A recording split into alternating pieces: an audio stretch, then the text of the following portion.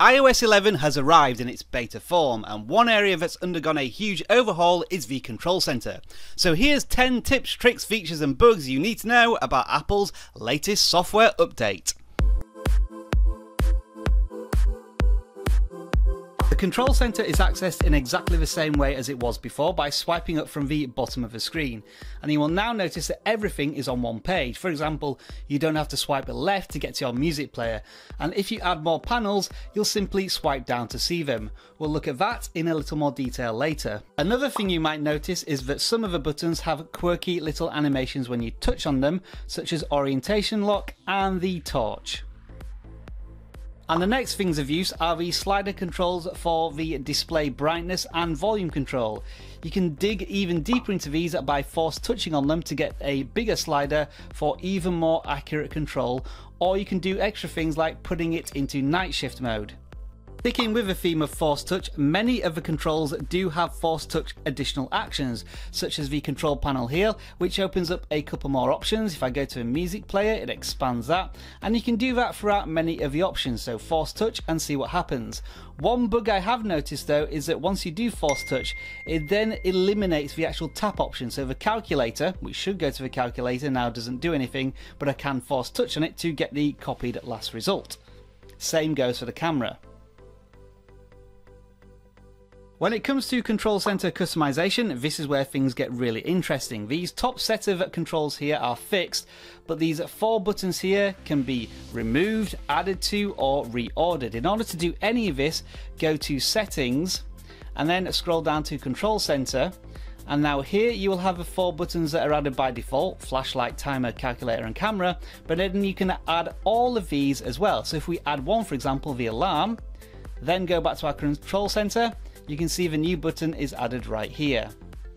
If you want to reorder any of these buttons, go back to the control center settings, then tap on the three lines at the right. You can drag it up, so we're going to drag the alarm to the top of the list.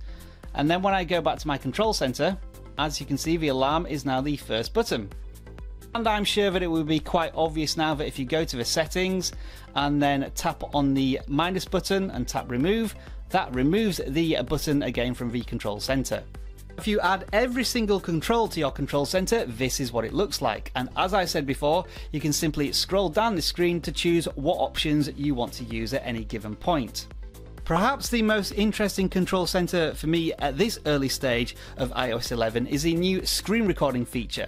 So if I tap this button here, that will start recording my screen. You can see a recording bar at the top here telling me how long it's been recording for and I can scroll about and do actions, play games, it will record the screen. When I've finished with my action, go back to the control center, press on the stop button, a notification will appear at the top here, and if I tap on that notification, it will take me to the photos where this new recording resides.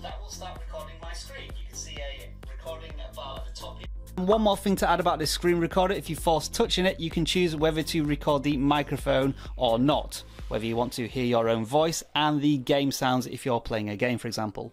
As I said, it is still a little buggy. For example, if I try and remove too many buttons at once, the screen will kind of freeze where I can't press on the remove button anymore. And once that happens, you just have to back out of the screen. As you can see here now, I can't make any more changes.